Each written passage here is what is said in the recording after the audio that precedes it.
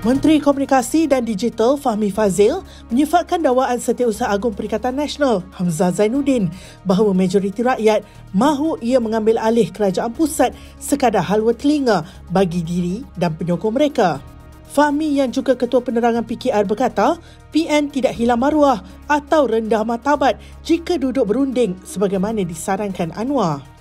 Terdahulu Hamzah dilaporkan mendakwa orang ramai menyuarakan pendapat mereka di media sosial dengan mendakwa kerajaan pimpinan Anwar gagal menyelesaikan isu berkepentingan rakyat. Sementara itu, Ahli Majlis Kerja Tertinggi AMNO Puan Zarkashi menyifatkan dakwaan Hamzah sebagai syok sendiri kerana beberapa PRK sebelum ini seperti Pulai, Simpang Jeram dan Pelangai membuktikan sebaliknya.